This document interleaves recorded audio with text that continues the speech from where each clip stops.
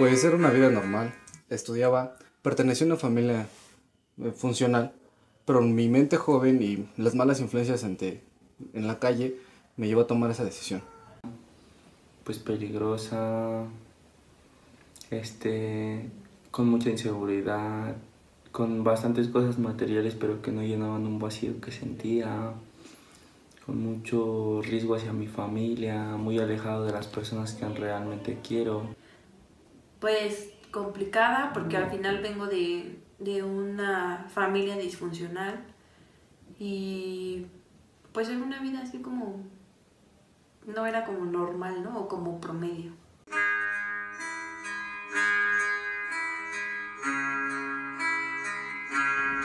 El apartarme de mi familia. Pues como la civilización, ¿no? De que pues iba a estar mucho tiempo preso y de que estaba muy pequeño y toda mi juventud se iba a ir ahí.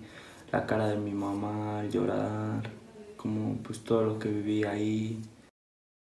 Pues la verdad de como yo hacía mi punto de vista como mucha negligencia por parte de, de las autoridades porque a mí me detienen tres años, ocho meses después de que pasó mi delito.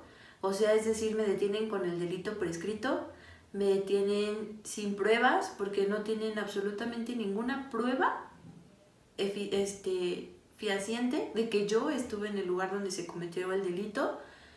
Y aquí hay muchas lagunas jurídicas. Por ejemplo, yo tenía una niña de dos años, nueve meses y yo creo que lo más difícil de todo fue perder ese vínculo tan importante con mi hija, que el día de hoy yo sé que, que ella necesitaba mucho de mí y la autoridad no hizo nada por resguardar ni mis derechos como madre, ni sus derechos como hija, como un infante.